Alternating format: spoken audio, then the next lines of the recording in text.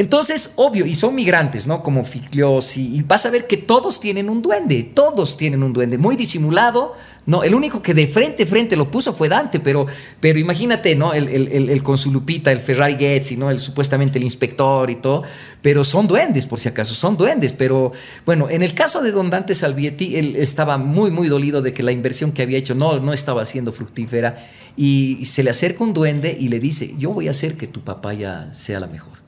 No, pero lo que te pido es de que tú jamás me olvides y me quites de tu botella. Pero el duende de Don Dante Salvietti era de Caranavi, ahí eran sus papayales, por si acaso. Y era cuando estaba llorando, cuando decía, ¿por qué? ¿Por qué no las papayas? Yo quiero el refresco más grande. Y cuando lo escucha llorar, se acerca el duende. A este señor igual, estaba, eh, vivía solito en las afueras de Caranavi y cada que iban sus hijos, decía, papi, yo te veo tranquilo, estás bien. Sí, pues hijo, yo tengo, por lo menos ustedes se olvidan de mí, pero yo tengo con quién jugar, digo, con quién charlar, con quién hablar. Pero ¿con quién si dice el vecino que nunca sales? No, yo tengo mi amiguito, ahorita, ahorita va a venir, ¿no? Y hablaba de su duende. Los mismos del regimiento nos decían, lo que pasa es de que aquí escuchamos gritos, lamentos, caballos, cañones, ¿no? Porque a los peruanos que, que, los agarraron ahí, los hicieron rendir ahí, dice que los desvistieron, los metieron en una fosa y pum, pum, pum, pum, pum, a toditos, ¿no? O sea, no con con pum, pero toditos muertos, pegados, desnudos, encima la tierra y ahí están enterrados. O sea que es uno de los lugares más pesados que tiene La Paz. Y fuimos nosotros con algunos eh, canales y demás, porque nos llamaron para hacer una investigación, porque dice que los, ya, los conscriptos anteriores ya escuchaban la historia, pero los conscriptos nuevos, que son más jóvenes cada día, dice que escuchaban tantos gritos y no veían a nadie, todo tan oscuro, que al día siguiente ya no estaban en el lugar y se hacían chocolatear, castigar y todo. Decían, yo no vuelvo a ese lugar, por favor, lléveme otro. Y entonces eh, nos buscaron y eh, captamos mucha energía, definitivamente. Lo que pasa es de que hay espíritus que se manifiestan inmediatamente y hay quienes no quieren manifestarse.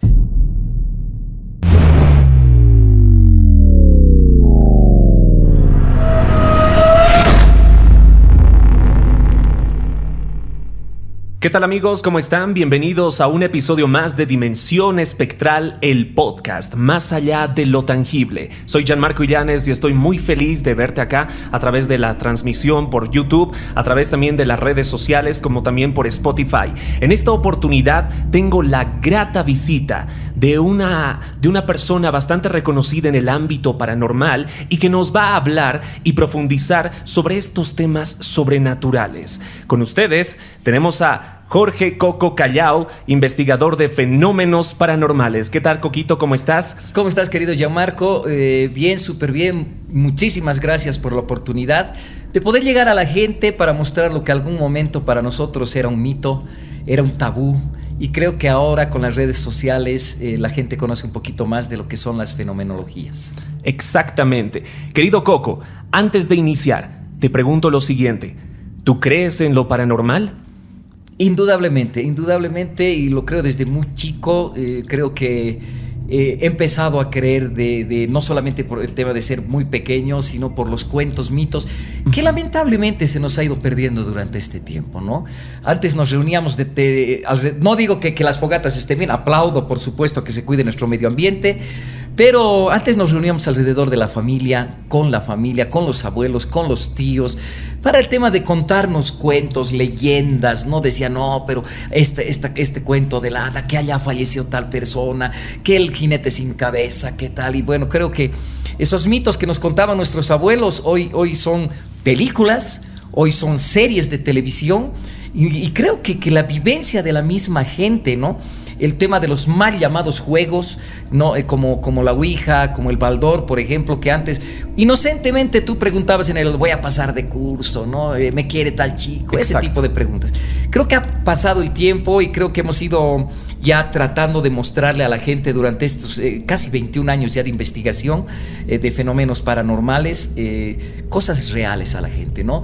Investigar sobre nuestra cultura, investigar sobre nuestra sociedad, sobre nuestra idiosincrasia, porque creo que somos disculpa, soy muy nacionalista, eh, muy amante de mi país, muy amante de mi país. Creo que, que alguna vez te lo dije, me considero tal vez una de las personas que adora este país y lo va a defender a muerte sin defenestrar grandes culturas como la maya, como la egipcia. Por supuesto que son culturas primigenias increíbles, pero la nuestra no se queda atrás. Querido Coco, ¿cómo empezaste a creer en lo paranormal? ¿Tuviste alguna experiencia que te llevó a creer en esto? Sí, eh, eh, bueno, al principio, de muy, muy niño, como te decía, las historias, los mitos, las tradiciones, las leyendas, nos gustaba mucho leer. Y mi, y mi, padre fue una de las personas, eso yo le agradezco.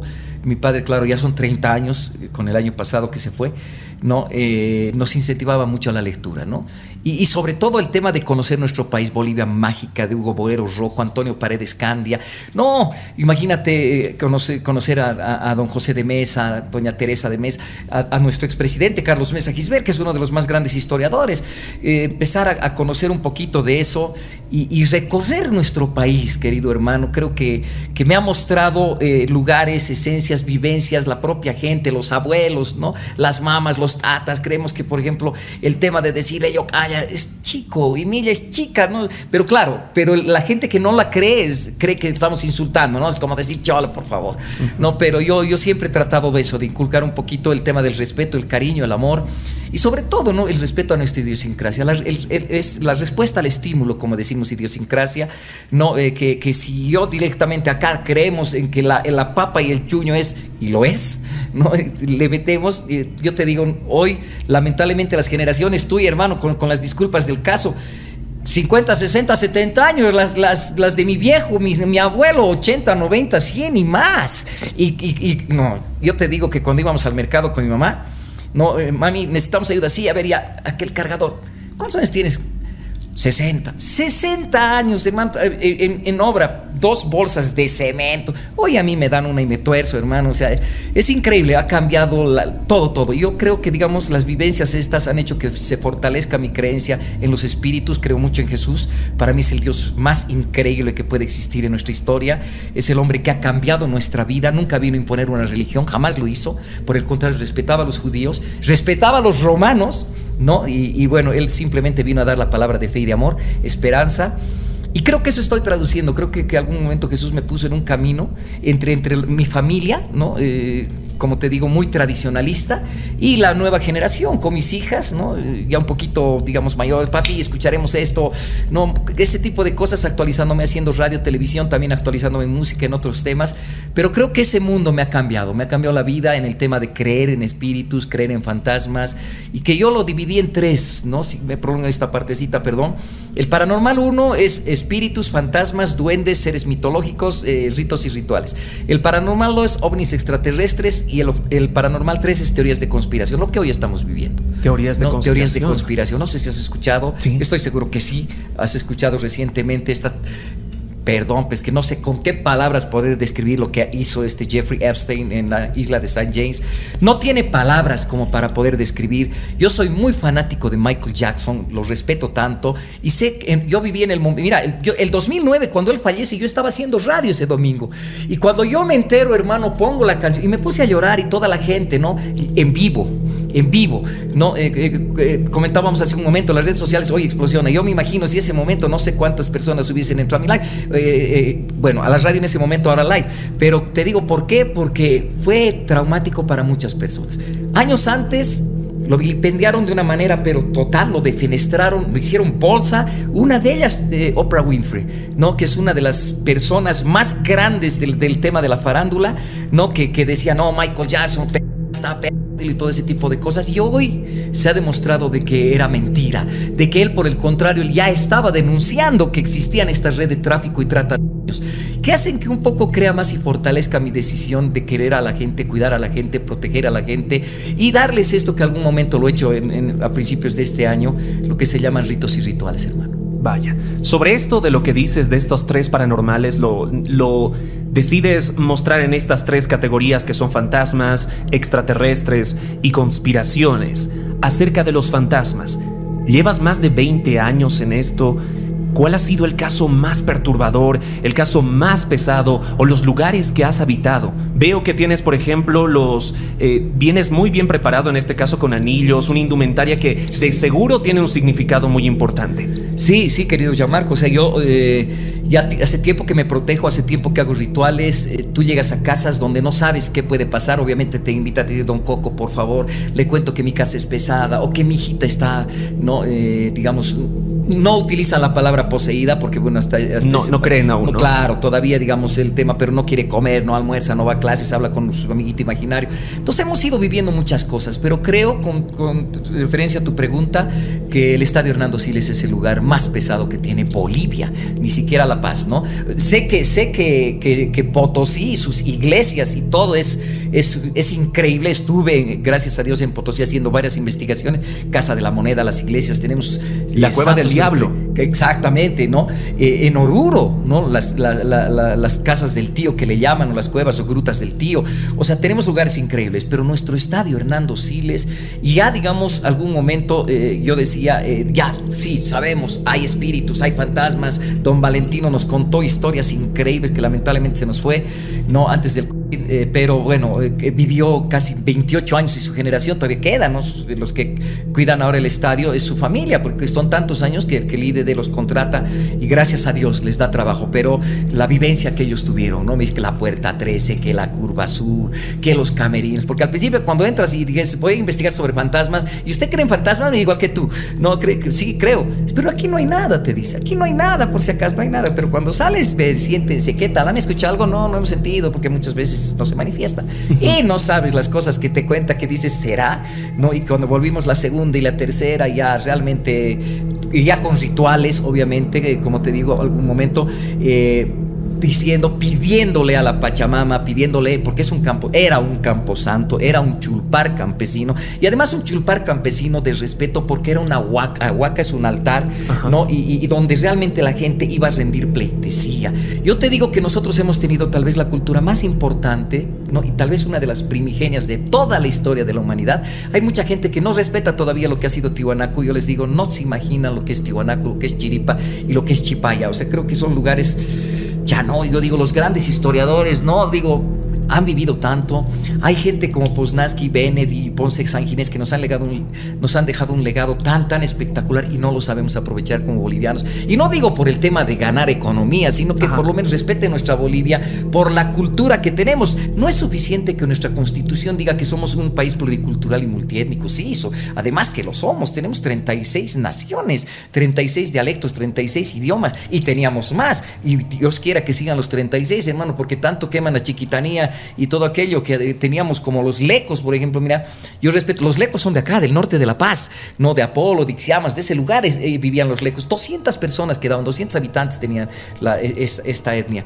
Fueron los primeros, fue la primera etnia de Bolivia que en 1879, cuando estábamos perdiendo nuestro mar, vinieron hasta La Paz y le pidieron a Hilarión Daza querer ir a la, a la guerra del Pacífico, hermano. O sea, ¿te imaginas? O sea, que te llegue una información de aquí a Apolo hoy mismo ya.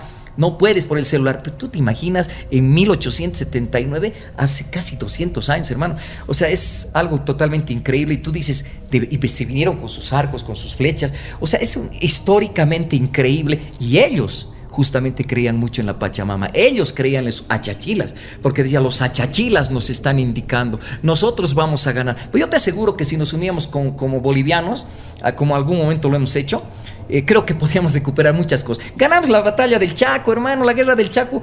estuvimos en Asunción, estuvimos a metros.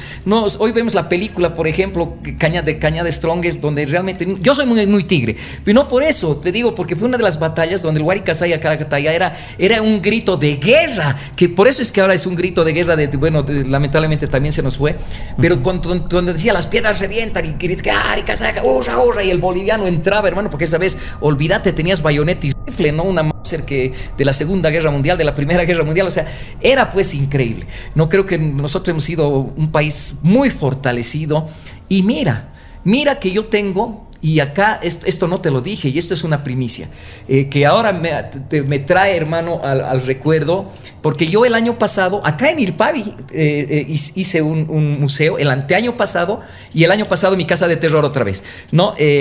En este museo de terror, yo, digamos, hay gente que, eh, como tengo collares, medallones, todo de gente de, de duendes, cosas muy bonitas, ¿no? De, que, que, dejaron, legaron, alguna gente le dice, mami, por ejemplo, tengo un medallón de duende, pero así de los antiguos, y lo ves, es un fierro forjado y el duende, perdón, el medallón es tan, tan pesado que lo llevaba una señora. La señora le pidió, le pidió al duende, porque a la señora la denunciaron, tenía cáncer. Y te hablo que la denunciaron y, y la, la, señora se para y vivía en pura pura. Por eso yo confirmo mi teoría de, de, pura pura. ¿no? Y la señora le pidió al duende porque decía, yo veo mi duende, tengo mi duende. Entonces cuando le, le dijo a su hija que se lo haga un medallón, no, mami, yo quiero un medallón así, eh, hija, tal. Entonces se lo hicieron y dice, pero ¿para qué quieres, mami? Porque hija, me ha prometido este duende que voy a vivir 10 años más. Wow. ¿No? Y aunque no puedas creer, hermano, 14 años vivió la señora. No 10, 14 años vivió la señora, cabalístico, 7, 7, me imagino que va por ese lado también, porque la numerología entra mucho dentro de lo esotérico. Ya, y, y, cuando la, hija va y nos deja, por favor, Don Coco, lo escuchó hablar de duendes, se lo digo, una belleza, ¿no? Claro que ya estaba viejito, debe tener por lo menos unos 30 años, pero es una belleza, ¿no? Lo he, mostrado en varios programas y contar esa historia, ¿no? Porque yo tengo el permiso, digamos, y como de Dante Salvietti, de poder contar las historias que, que han sido reales y de esta señora. Pero yo te, te, te, hablaba de la guerra del Chaco, hermano, porque esto para mí es algo único. ¿Qué sucedió? No sé si tú recordarás, no, tú eres muy joven. Había un cuadro de un niño de la Segunda Guerra Mundial. Era un niño que tenía un rostro y que decían que era el anticristo. Y que todo el mundo compraba eso, pero cuando se diga es el anticristo, ya sacaron de sus... Es como el payaso. Antes coleccionábamos payasos, teníamos payasitos de adorno. Ahora vas a ver que nadie tiene payasos y menos ese cuadro del niño. Yo tengo un cuadro y te lo voy a mandar por foto más tarde. Tengo un cuadro, es más o menos, debe ser de unos 40 por 30, eh, pintura a mano igual, óleo, de un niño también. Y mira cómo es esto. Resulta que el padre se fue a la guerra del Chaco. El niño fue detrás de él. Imagínate, se subió a uno de los trenes, se fue hasta el Chaco sin conocer a nadie. ¿Por qué los reconocen al niño? El niño buscaba a su padre, decía mi papá de La Paz que se ha venido aquí a la guerra. Pero hijito, tu papá debe estar adentro, no puedes entrar. Le daban comidita y lo empezaron a conocer al niño, ¿no? Cuando resulta que el niño se pierde durante dos semanas, termina la guerra, todos vienen, todo, y resultó que, que preguntan, ¿y él no lo han visto a un niño que buscaba a su padre? No, y dice, no, no, no. Van, lo buscan, ¿no? Y a varios kilómetros de, de este lugar, del de, de Chaco, encuentran al niño tirado encima de su papá. Ay, no. Era increíble, hermano. O sea, y, y yo te digo, y, y, lo, que, lo que cuenta la historia, él decía que su papá le hablaba. Porque su papá ya había muerto cuando él llegó. Claro, obviamente él no sabía. Entonces decía, pero mi papá me ha llamado, mi papá me ha llamado. Entonces, y tengo el cuadro porque y, lo, ves al, al, niño, obviamente, eh, eh, en, en una pintura muy bonita con un fondo amarillo. ¿No? Y, y, ahí, y, eso, y eso me lo dio la, a una señora que llegó de Tarija y me dice, don Coco, yo he escuchado de a usted hablar sobre todas las tradiciones y leyendas, no me la crees. Igual que te digo del medallón al principio, yo, es que te pones incrédulo en el sentido de decir, ¿de verdad 14 años de vida el duende? ¿Qué poder puede tener? Claro. Y este, este tiempo de estudio me ha llevado a pensar de que sí, hermano. Sabemos que estos seres son inmateriales pero se materializan a través de la mente. Es como Jesús, ¿cómo llegas a Dios? Pidiéndole y pidiéndole con fe. Con fe. La fe mueve montañas, como dice. Y mientras más fe tengas, mucho más fácil te va a llegar lo que tú quieres. Obviamente, siempre cosas que sean buenas. Yo me imagino que el niño pedía tanto, pedía tanto y lo encontró al padre. Y eso es lo más espectacular, ¿no? Porque dice, ¿y de cómo puedes saber tú que, el, que era el padre del niño? Le digo, ¿no? Porque en el carnet del Señor estaba, una, en el carnet donde la billetera tenía una fotito del niño. O sea, dices, es, y esa es la foto pintada. O sea, esa fotito, ¿no? La, es esa la, que, la, la, que, está retratada en el cuadro que yo lo tengo. Por eso es que para mí esto es, es algo espectacular, es algo, cha, ¿cómo te puedo decir? Eh, muy grato, ¿no? Te, tengo bastón de duende, tengo muchas cosas que, que, la vida me ha ido regalando con la gente, en las que te puedo decir, esto sí son cosas reales. Son, mira, el, el, perdón si te puedo así alargarme en esta parte, la, la historia del, del, del del bastón de duende, por ejemplo. Tengo un bastón que, claro, como es de madera y parece es cualquier tronco de árbol, tú dices, pero yo también me hago un. Pero una cosa es que tú digas que te lo haces y otra cosa es que te lo hayan entregado con fe, ¿no? Y, uh -huh. y con, además con la certeza y la credibilidad de que, gracias a Dios, que la gente que me ha entregado, como la Cholita de Tarija, por ejemplo, ya pasaban los 50, 60 años y no tenían por qué mentir. ¿no? Y, y, y, es como tú, digamos, cuando llegaste a mí, no como amigo, hermano, ven, quiero hacer esto. Es lo mismo, la señora, lo hemos visto, qué tal y demás. Entonces eh, viene y me entrega y dices, no, realmente esto es increíble, ¿no? Que, que, que vengan de Potosí, tengo dos, dos objetos espectaculares y esta es de los Yungas. Era un viejito que vivía cerca de Caranavi ¿no? Y, ahí también, por eso es que te digo, muchos confunden el tema del duende de Don Dan Salvietti con, eh, con los duendes de Pura Pura. Sí existen una villa de duendes espectacular, pero el duende de Don Dante Salvietti era de Caranavi, ahí eran sus papayales, por si acaso. Y era cuando estaba llorando, cuando decía, ¿por qué? ¿Por qué no las papayas? Yo quiero el refresco más grande. Y cuando lo escucha llorar, se acerca el duende. A este señor igual, estaba, eh, vivía solito en las afueras de Caranavi y cada que iban sus hijos, le decía, papi, yo te veo tranquilo, estás bien. Sí, pues hijo, yo tengo, por lo menos ustedes se olvidan de mí, pero yo tengo con quién jugar, digo, con quién charlar, con quién hablar. Pero ¿con quién si dice el vecino que nunca sales? No, yo tengo mi amiguito, ahorita, lo, ahorita va a venir, ¿no? Y hablaba de su duende. Y claro, los hijos, papi, es igual que el medallón, mami, ¿estás segura? Y cuando la veían en la ventana, cuando la veían escuchar hablar con alguien, dice, pues la vemos hablar, don Coco, la veíamos hablar tantas veces pero nunca vimos nada. Es que no se te va a presentar a ti, o sea, se va a presentar a la persona, ¿no? O sea, es como, ah, bueno, podemos repetir la historia de, de, de, los chocolates de Don Dante Salvietti en Cochabamba con Giovanni Wally, pero, pero así, pero ¿a qué me voy? ¿Cómo llegas a determinar? De, y los hijos cuando me traen el, bastón me dicen, mira, eh, mire don Coco, nosotros a mi papá nunca lo hemos visto, o sea, al duende ni, ni le creíamos, pero sí tenía su amigo imaginario. Resulta que mi papá falleció, ¿no? Entonces nosotros nos olvidamos de la casa, obviamente fuimos, la cerramos todo, después de dos, tres años vamos, veremos la casa del papá, veremos, tú sabes que el momento de repartir también aparecen los hijos y demás, entonces dice que va la casa totalmente empolvada, sucia todo. Y cuando van al hornito de barro, que es uno de los lugares donde moran los duendes, ¿no? Eh, dice, esto mira, todo está sucio, empolvado, con ramas, con todo, pero este está limpio. O sea, como si alguien estuviera limpiando esto. Abren la puerta, hermano, y en el medio del horno, el bastón del duende. No, claro, ellos no sabían que era un bastón de duende, lo saca, pero el, ladrillo, ¿no? El, ladrillo gambote, todo limpiecito. Mira, no, parece un bastoncito, ¿no? Será del, del ya, ya, y los hijos empezaron. Claro, el papá decía que tenía su bastón, ¿te acuerdas que esto debe ser? ¿Qué tal? Y ahí, hermano, y cuando ellos te cuentan, los hijos, te, mi papá hablaba, dice que jugaba, charlaba con él. Entonces vas creyendo y se va fortaleciendo tu cariño, sobre todo, y el respeto que yo les tengo a los espíritus y fantasmas. Coco, estos objetos que tienes de seguro traen un, un tipo de energía distinto. ¿Lo sientes en tu hogar? ¿Sientes esa energía?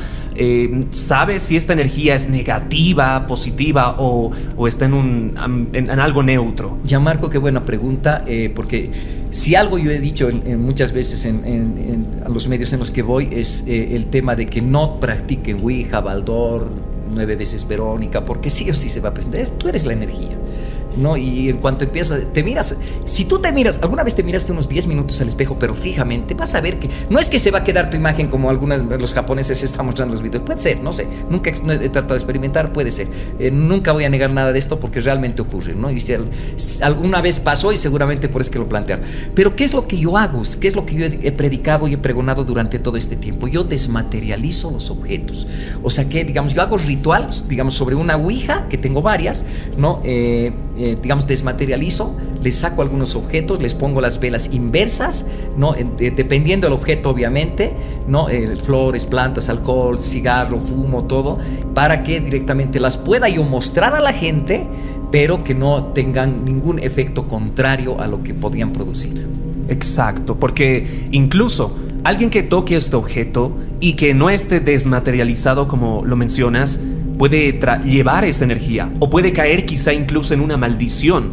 Hay objetos que, por ejemplo, de, hay un programa que fue de la mano peluda donde este locutor em, llegó a fallecer precisamente porque llevaron un objeto que estaba maldito y él no sabía para nada. Él comenzó a seguir el caso por curiosidad, por investigar, porque se comenzó a difundir en más a nivel internacional incluso y llegó a ese punto en el que llegó a morir. Es como que le hubiera pasado la suerte, una maldición a esta persona. Sí, lamentablemente eh, eh, a veces hay la susceptibilidad con el tema que te, no, este objeto que no pasa nada, o es mentira, o es, como te digo, es una maderita, hermano, cualquiera yo también puedo hacer un bastón, digamos Hazte 20, hermano, pero este es pues el verdadero de Este sí ha tenido su esencia. Está desmaterializado, todos mis objetos están desmaterializados. O sea, tú los puedes tocar, los puedes agarrar, mis barras de radiestesia lo mismo, responden sí o no con en tus manos o en las mías.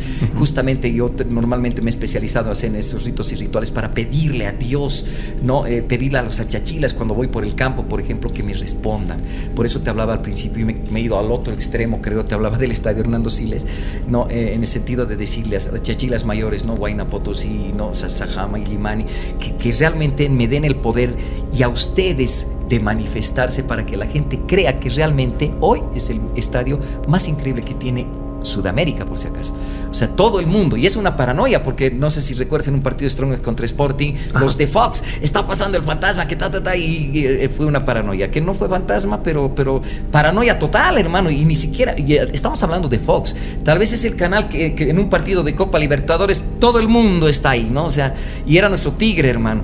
¿no? Y que fue algo excepcional. Pero yo trabajo más un poco en la teoría de que sí, perfecto, era un chulpar, pasaba el, o sea, pasa el río Coahuila todavía por atrás, que es uno de los más grandes ríos que tiene la ciudad de La Paz, que trae duendes, obviamente, porque traía mucho oro hasta ahora, por si acaso. Es más, en río abajo, donde se juntan el, este río, el Aruntaya, el Irpavi, el Orcojahuira, el Choqueyapo y todos los ríos de la ciudad de La Paz que se, fue, se forman el río de La Paz.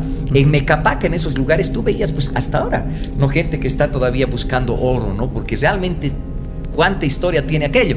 Entonces, y los duendes están donde hay oro. Y no, no porque tengan guardado el oro y que te digan, ay, ay, yo te voy a dar como, como Adán Salvetti. Adán Salvetti no le dio oro, le dio una papaya de oro, que es otra cosa, hermano. Que porque el refresco es oro hasta el día de hoy, digamos, ¿no? Es un material. Yo, por ejemplo, yo tengo mi duende que lo estoy ritualizando, ya, ya vas, ojalá Dios quiera. El año pasado se cumplieron los siete años, pero yo digo, yo no quiero que me des riqueza, yo quiero que me des riqueza eh, de conocimiento, quiero saber por qué, cómo existen, dónde se manifiestan, por qué se manifiestan, y muchas veces me lo han presentado, ¿no? O sea, como te digo, voy a pura pura, han destrozado la casa, me arrepiento de haber dicho yo en su momento, y también me quejé muchas veces en, en redes sociales, permíteme hacerlo, decía, no, pero ahí está la casa de los duendes, que, que los zapatitos, que las fotitos, que las, el tesoro de eh, porque ellos sí tenían un tesoro material, unas vasijitas, qué mala suerte, quería traerla, unas vasijitas, ¿no? Que hasta ahora hay, lamentablemente, pero deben unas 10, 20 o 30 o 50 deben haber, pero habían 8 mil apiladas, como si alguien, igual como te digo, como si alguien las cuidara, las de era una, toda la casa destruida, pero así.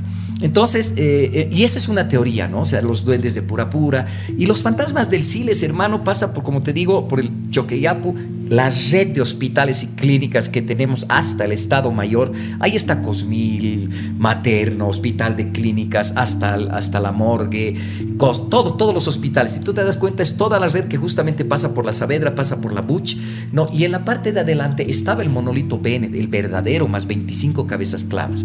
El verdadero, el verdadero, donde tú escuchas los, los mitos de la gente que vivía en ese momento en el estadio, te decían, escuchamos llorar, morían los borrachitos, ¿no? Tú dices de hipotermia de acuerdo, puede ser por hipotermia, pero mm, otros son las manifestaciones cuando tú ves un espíritu. Entonces, y en la punta de lanza está el, el, el Parque La Icacota, hermano. El Parque La Icacota durante los, los, gobiernos de facto, los del MNR, de izquierda, los, los, y los dejaron ahí, pues los dejaban, y nadie quería acercarse siquiera. Y muchos eh, cuerpos en descomposición y muchas cosas como es. Y tú te vas a dar cuenta, y la gente que va a ver eh, este podcast eh, no me va a dejar mentir, hasta el día de hoy, justamente en el lado último, en la punta punta de lo que es el, el, Parque La Icacota, aparte de que está cerrado y hay incluso casitas de duende que hicieron, bueno, por, por la naturaleza y por todo, está cerrado. ¿No? Y, bueno, tú dices, pero ¿por qué no se habilita ese lugar? Exacto. La Pachamama. ¿no? O sea, es, no te deja, o sea, directamente dice, no, esto ha cobrado muchas vidas y vidas de inocentes que peleaban por la democracia, querido hermano. Y otra cosa que hay que aclarar es que los espíritus y fantasmas son territoriales. ¿No? O sea, ¿qué quiere decir? Que ellos moran, su morada es el Hernando Siles. Pero lo puedes ver al mismo fantasma tal vez eh, en cualquier otro lugar. Es como el Tiubico del Teatro Municipal. El Tiubico es del Teatro Municipal. Él puede tener varios eh, aliados, si tú quieres llamarlos así, pero es el Tiubico, el dueño del Teatro Municipal, si tú quieres que además la gente nadie quiere que lo saque. Es lo mismo que pasa con, con, con Hernando Siles. Mira, a tal grado ha llegado esto a conocimiento de nuestro expresidente. Hace mesas en la casa, eh, en el Palacio Quemado, en la Casa Grande del Pueblo y en el Estadio Hernando Siles. No sé si te enteraste. Hoy Porque una de las principales huacas de La Paz era la curva del diablo, que la llamamos así, y el estadio Hernando Siles, o sea, la plaza del monolito que le llamábamos así. Entonces estos dos lugares eran los, son los más importantes. Claro, son huacas naturales. Curva del Diablo y el estadio. El estadio Hernando Siles. Por eso te digo, hoy se hacen, tú ves el 21 de junio, que es nuestro año nuevo, el año nuevo Aymara, el 21 de junio los amautas, nuestros achachi, eh, perdón, nuestros eh, yatiris, hacen sus mesas, hermano, sus coas y todo, que realmente es algo es increíble. Y bailan ahora, ¿no? Antes no se podía porque, claro, era, un, era una, una, simple rotonda donde el tráfico era insoportable. Gracias a Dios, este, aunque no creas, es uno de los más grandes proyectos que hizo un alcalde para la ciudad de La Paz, ¿no? Eh, sin dar nombres de alcaldes porque hay quienes hicieron bien y quienes hicieron mal, pero definitivamente el, el, viaducto de Miraflores es muy bueno porque además puedes apreciar. Ahora, claro, de que todavía no dejan entrar y hasta casi dos años y no te dejan entrar al templete, porque realmente lo que quieres apreciar es el templete semisubterráneo, es muy lindo. Cabe esas clavas, los tintiquis y todo lo que representa aquello. Algo muy importante, hermano, pero como te digo, tiene un reflejo pues totalmente impresionante. Eh, tú, eh, como te digo, muy joven, con seguridad que tal vez no lo has vivido, las paradas militares las paradas militares en gobiernos de facto se las hacían en la bucha, hermano. Y eh, partían desde el Parque Triangular, lo que llamamos Parque Triangular, hasta la Plaza Villarruel. Ahí era, ¿no? La plataforma grande donde estaba el presidente, donde ya ahí tú veías tanques. Claro, nunca hemos tenido una infantería o armas, o armas, armas fuertes como tienen otros países pero sí, digamos, nos defendían. Bueno, hemos tenido los colorados de Bolivia, hermano, y, en las guerras que hemos participado, gracias, hasta en, la, hasta, hasta la guerra del Acre, nosotros teníamos que haber ganado la guerra del Acre, porque en ese momento Patiño, Simón y Patiño, uno de los hombres más ricos de, la historia de Bolivia y del mundo, porque en su momento solamente eh, Rockefeller, eh, Ford y, y, Patiño, así era, así era el tema él dio armas para, para ganar el Acre. Pero bueno, eh, todos sabemos que algunas batallas que ganamos, eh, en vez de ganar territorio, perdimos y en algún momento recuperaremos. Pero como te digo, en estos lugares, ¿no? Eh, es como en Ingavi, o sea, la, batalla justamente de Ingavi, ¿no? De Vallivian, nuestro presidente, allí en Viacha, donde está el cuartel Ingavi se quedaron muchos, ¿no? Y cuando hicimos una investigación ahí, los mismos del regimiento nos decían, lo que pasa es de que aquí escuchamos gritos, lamentos, caballos, cañones, ¿no? Porque a los peruanos que, que, los agarraron ahí, los hicieron rendir ahí, dice que los desvistieron, los metieron en una fosa y pum, pum, pum, pum, pum, toditos, ¿no? O sea, no con pum, pero toditos, pegados, desnudos, encima la tierra y ahí están enterrados.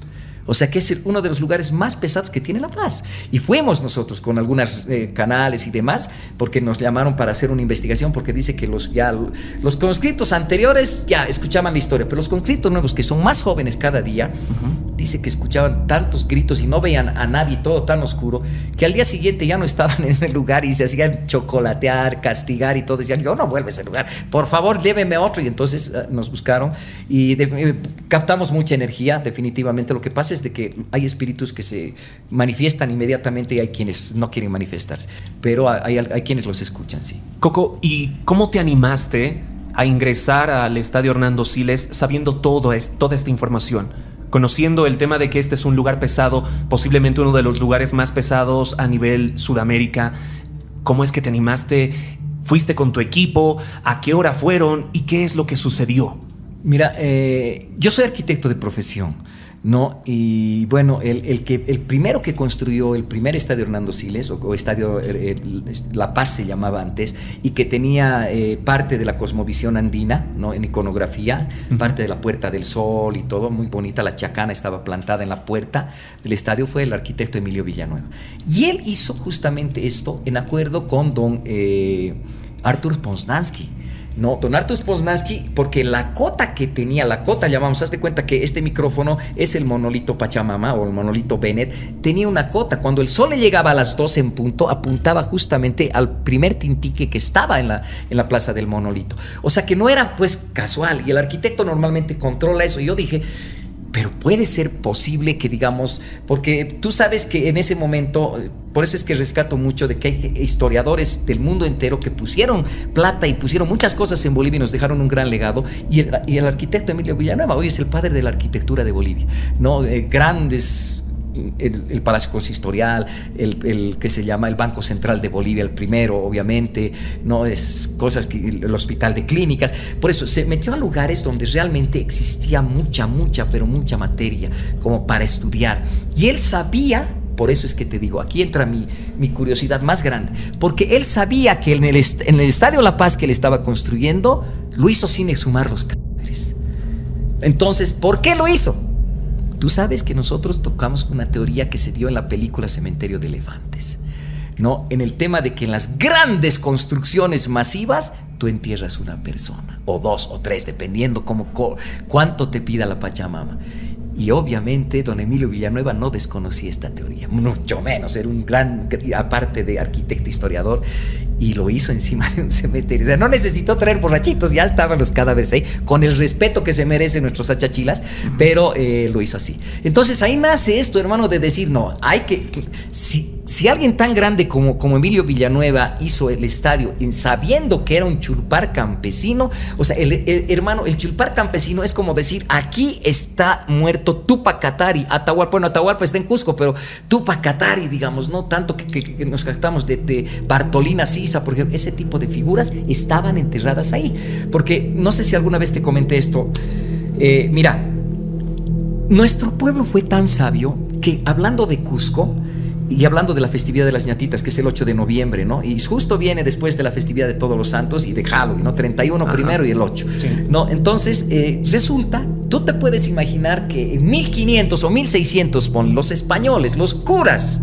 que venían de Europa, ¿no? Curas alemanes, ¿no? Aquí tuvimos uno, Obermeier, que se nos fue también. Tuvimos varios, ¿no? Y los curas de antes eran, y tú veías italianos, franceses, españoles, alemanes, con un, no, pues eran pues católicos a la antigua, ¿no? Ahí sí que te hacían ¿Qué, ¿Cuál que hayas tres Padres Nuestros? Nada, cien Padres Nuestros y además latigazos, por se flagelaban. No sé si Dios te habrá pedido que te flageles, pero bueno, la cosa es de que lo, hacían, ¿no? Entonces, eh, ¿cuál, era, cuál, era, ¿cuál era el tema? Yo decía, si digamos el cura te puede enseñar ese tipo de doctrinas, todo, imagínate lo que, lo que pensaba nuestro pueblo. Ahora, tú te imaginas que el 8 de noviembre, ¿no? Existía la festividad del Malki Malki es, se, traduce como cuerpo momificado. Entonces, ¿tú te imaginas que a todos los incas salir en procesión en la plaza de Cusco con españoles en la puerta de la iglesia y dando vueltas varios cuerpos, pero obviamente todos eran reyes, ¿no? De distintos ayllus, ¿no? En, procesión, por supuesto que les negaron, es más, los castigaron, les dijeron que jamás podían sacar una momia a dar vueltas, si tú quieres hablar así en ese sentido. Pero nuestro pueblo fue siempre tan inteligente que enterró el, cuerpo y se quedó con la cabecita. Por eso es que ahora se llama la festividad de las ñatitas, ¿no? Que antes teníamos 300 familias que tenían ñatitas, hoy tenemos más de 4000 y en toda Bolivia. Y hay personas que tienen hasta 80 ñatitas, hermano. Claro que con otro tipo de cosas, ¿no? O sea, eh, son otro tipo de rituales, lamentablemente, ¿no? Pero hay gente que tiene mucha fe porque nos cuidan, son celosas, ¿no? Eh, y son compañeras también bastante interesante toda la información que nos, que nos das, por supuesto, Coco. Te agradezco mucho por, por la visita y también por brindarnos todo este tipo de conocimiento que traes después de 20 años o más de 20 años de experiencia sobre este ámbito. Hablando de los fantasmas, por ejemplo, ya me dijiste sobre lo que ocurre en el Estadio Hernando Siles. Eh, me decías fuera de cámaras que fuiste con tu equipo y había una persona que no era creyente ah. de los fantasmas y alguien le hizo, le jaló creo la pierna y se asustó. Coméntame por favor más sobre eso. Esta fue en la primera. No, porque los videos de los fantasmas del Siles fue en la tercera ocasión que fuimos con Pablo Caliucho, un ex comunicador social que lamentablemente se nos fue. Bueno, ex, o sea, comunicador social que lamentablemente se nos fue. Y con él, ¿no? Eh, bueno, ella era Tete, Fabiola Tete Salles, ahora vive en Santa Cruz también no, eh, no creía. Eh, del programa, pues, por eso solamente escribe ella en la primera y en la revista 2. Era la más escéptica, por eso cuando le llamaban para contar espíritus, cuéntele a Coco, porque yo poquito no, no creo en el tema de fantasmas, quisiera ver alguno, digamos, ¿no? Y mira cómo es, lo pidió, ¿no? Y lo obtuvo. ¿Por qué? Porque cuando fuimos con Tete y con todo el equipo, ¿no? Yo siempre voy por delante haciendo el ritual, Tete va al final, porque como no creía, ¿no? Esa vez no había los celulares para estar chateando, ni para decir se ha distraído, ni nada por el estilo.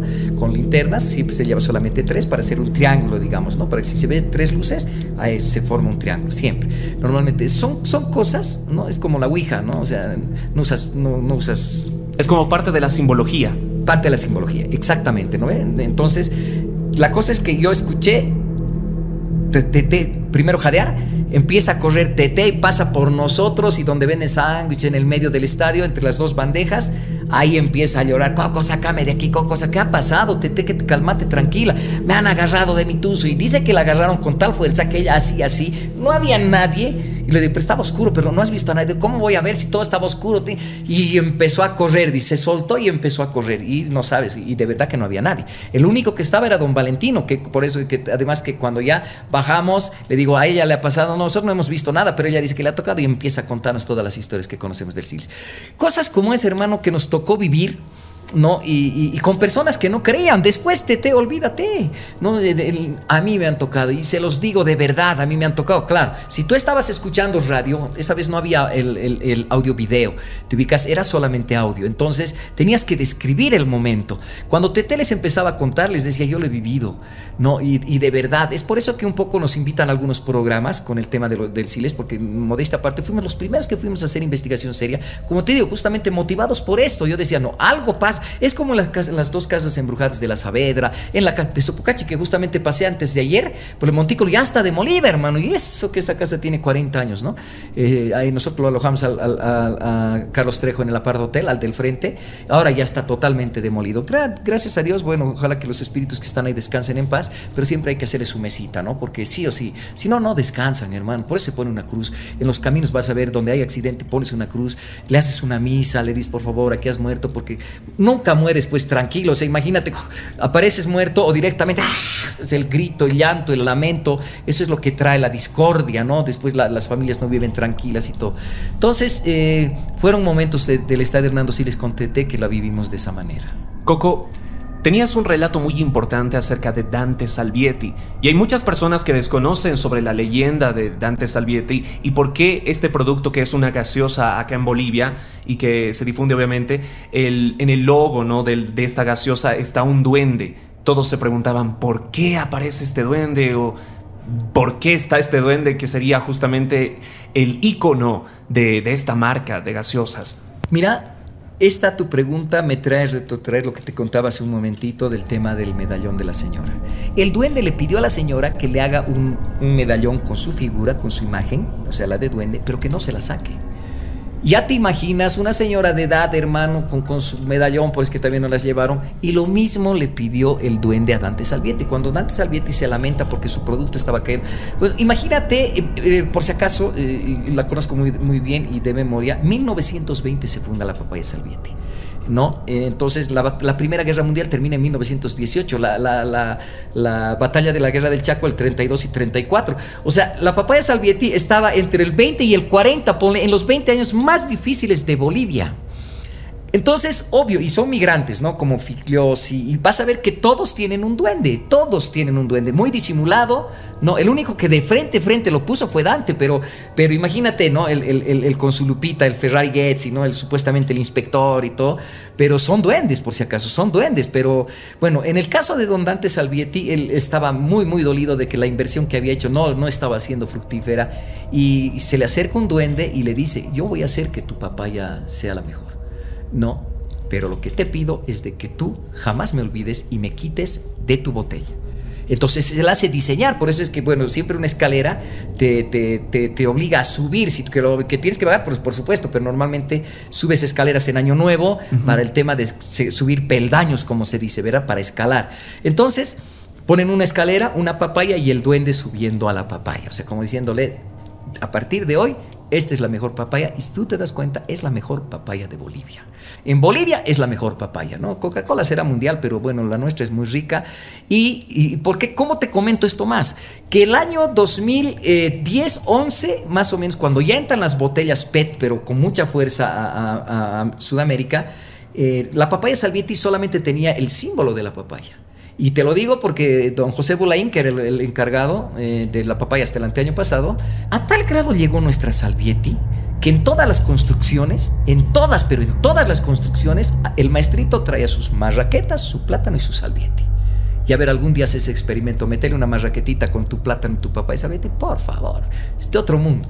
Solamente en Bolivia puede ocurrir esas cosas. Es como cuando te vas al Merlan, hermano, le metes tu café en jarro con tu marraqueta y tu queso. Por favor, eso no lo vives ni en, ni en Europa, hermano. No, es más, europeos vienen a, vivir ese tipo de cosas que solamente tenemos nosotros. Pero ¿por qué te digo esto? Porque don José Berley, y aunque no creas, me dijo, pero ¿cómo podríamos incorporar en la papaya? Porque ya tiene una marca registrada, ¿no? Eh, pero usted ya la tenía, le digo, la, botella era verde también, era una botella bastante simpática, de vidrio. Entonces vas a ver que está la papaya, o sea, el logotipo y el duende está apoyado en la papaya. Ahondando más el tema paranormal, viendo ahora el tema de duendes, el tema de espectros, Coco, pasaste por una experiencia, en este caso sobrenatural, relacionado al exorcismo. ¿Se hizo exorcismos aquí en Bolivia? Sí, es más, como te dije, eh, yo tengo mis propios ritos y rituales. Eh, hicimos en Viacha, que eh, fue el más fuerte, porque la señora estaba embarazada, no le daba de mamar y todo, y hablaba en otro idioma. No era arameo, ni, además que yo no sé ni hablar arameo, hermano, no sé si, qué, idioma era, pero no, no era el que, porque hoy, por ejemplo, el Padre Nuestro en el TikTok te lo sacan en arameo y dices Jesús, eh, digamos, decía el Padre Nuestro en arameo Jesús no hablaba arameo, Jesús hablaba hebreo, que es totalmente diferente. El arameo es un, es un, idioma muy especial, ¿no? O sea, no, no es un idioma que lo habla cualquiera. Pero bueno, la cosa es de que ella no quería, los papás nos llaman, yo, el, huevo que es un elemento vital, eso lo digo abiertamente porque todos nos podemos limpiar con huevo, ¿no? Pero hay que tomarlo puro, ¿no? Mejor si son dos o tres. ¿No? ¿Y por qué? Porque es, la clara y la yema del huevo purifican el alma, el espíritu, ¿no? Te, hace una limpieza total. Claro que obviamente vas a sentir náuseas y todo aquello, pero esa es la idea. No hay remedio rico, ¿no? Entonces, eh, definitivamente, esa es la parte que tienes que vivirla. Y nosotros hicimos el exorcismo, le puse cosas blancas, su arcángel era Uriel de los bienes, igual que yo, ¿no? Eh, la, envolvimos, el, baño, todo, y gracias a Dios, eh, cuando el papá nos llama, nos dice, gracias a Dios ha reaccionado Don Coco y te sientes feliz porque no es la primera, hicimos uno con el pastor Guachaya en la misma casa de Dios, de una muchachita que, bueno, su hermana había jugado Ouija un año antes y es por eso que también yo les explico y les digo, eh, el momento del tema de hacer una sesión de Ouija, no se, puede manifestar ese momento, de acuerdo, pues van a poder hablar, porque sí, sí va a indicarte nombres y fechas y todo, pero se puede quedar si tú no lo despachas.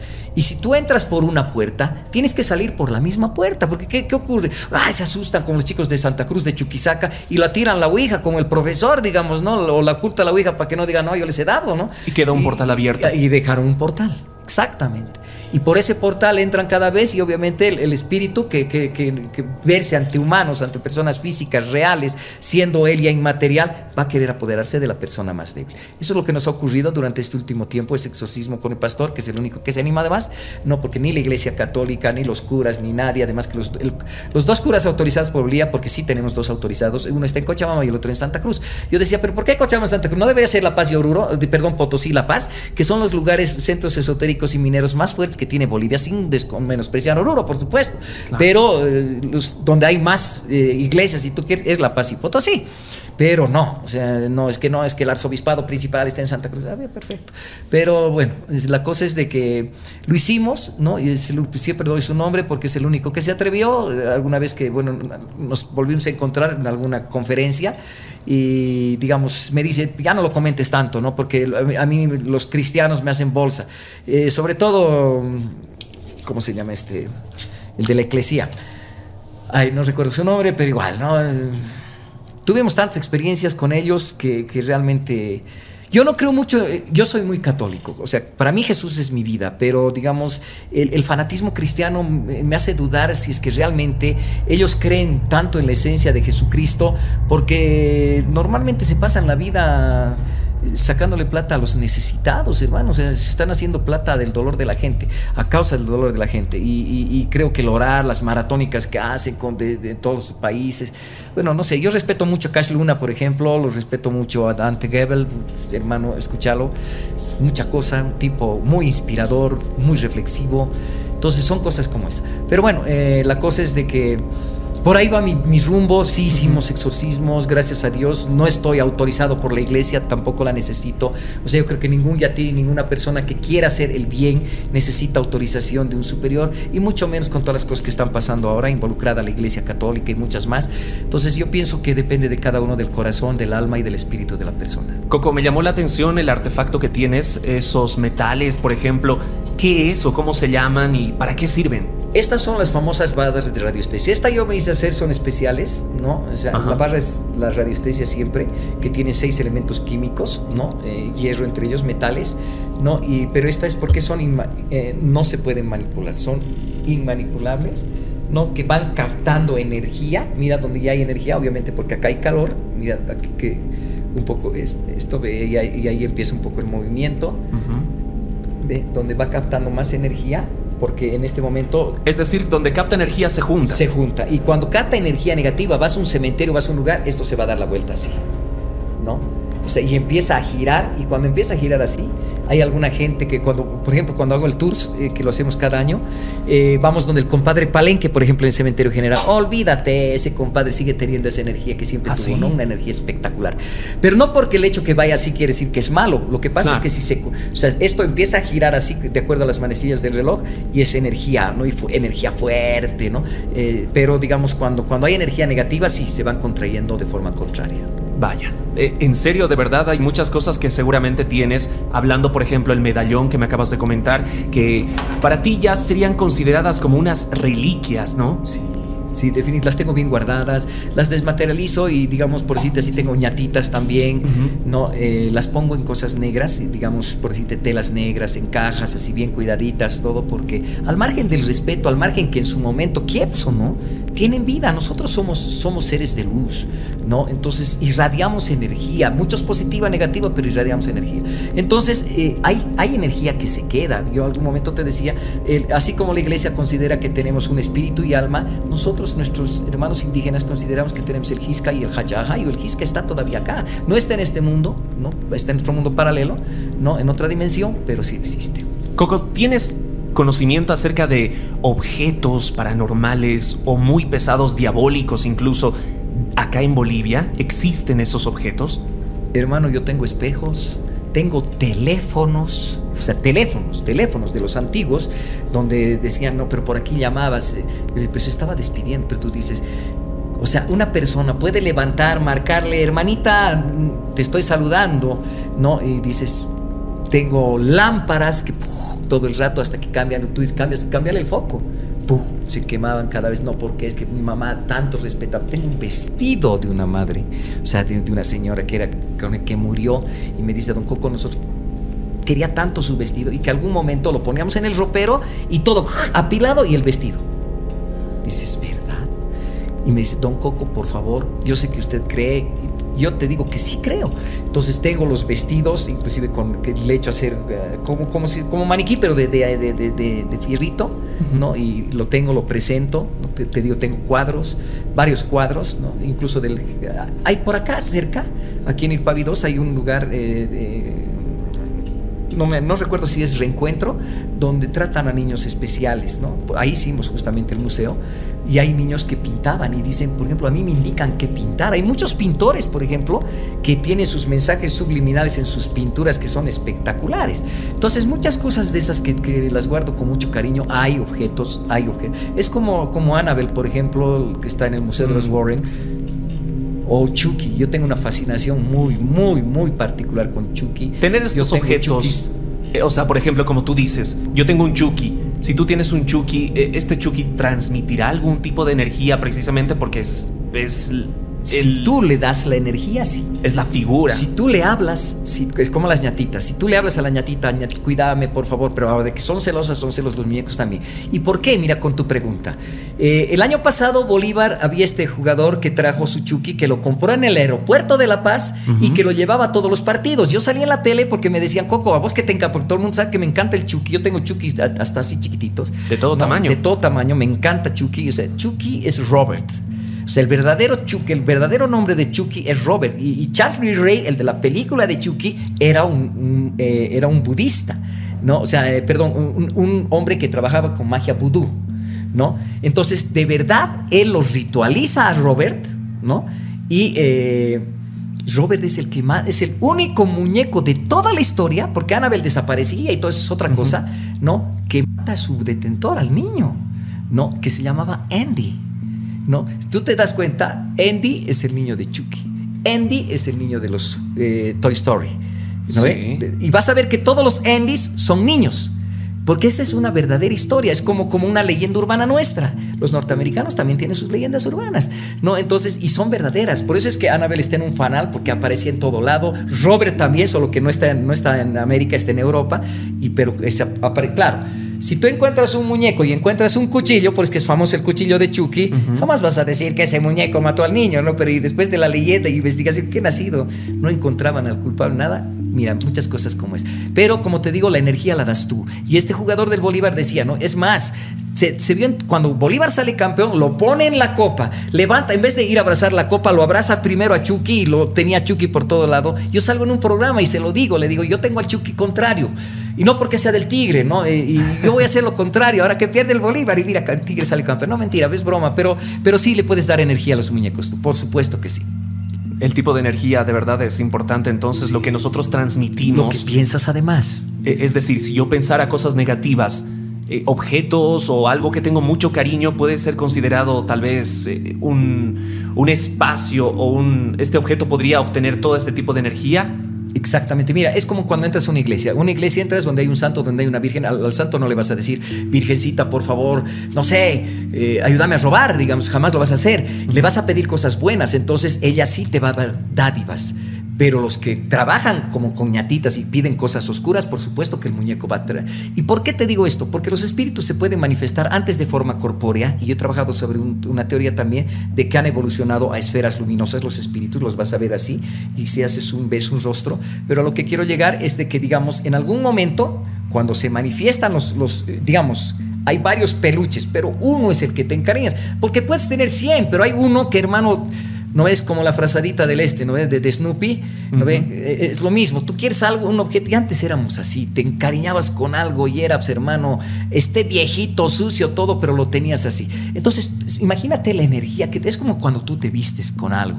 Por eso es que dicen al, muerto lo que más le gustaba y la ropa con la que estaba, a quemar. No, porque que se queme lo viejo, lo pasado, que todo lo que, que se vaya a la eternidad del olvido y lo nuevo, lo presente, que él vaya bien firme, bien vestido a donde Dios le espera. Entonces lo mismo pasa con los muñecos, o sea, tú le das la energía y si tú estás pensando, no, que este, que, que mi chica, que, que el otro, que me ha traicionado, que tal, por supuesto que esas malas energías las van a recibir los muñecos y se van a manifestar de mala forma.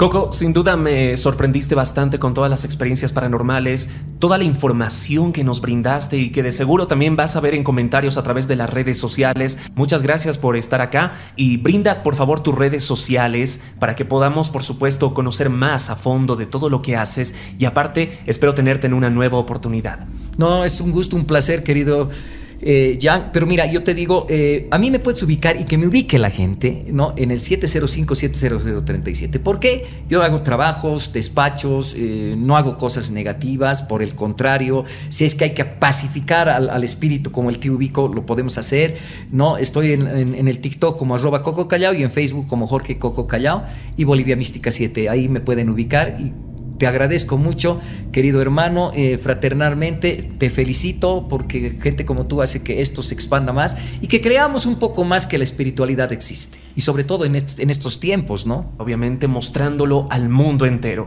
Muchas gracias a las personas que han estado también en esta transmisión a través de YouTube, a través de la plataforma de Spotify. No olviden calificarnos también el podcast con cinco estrellas en Spotify y por supuesto suscribirse al canal de YouTube. Esto fue todo en Dimensión Espectral, el podcast. Hasta una nueva oportunidad.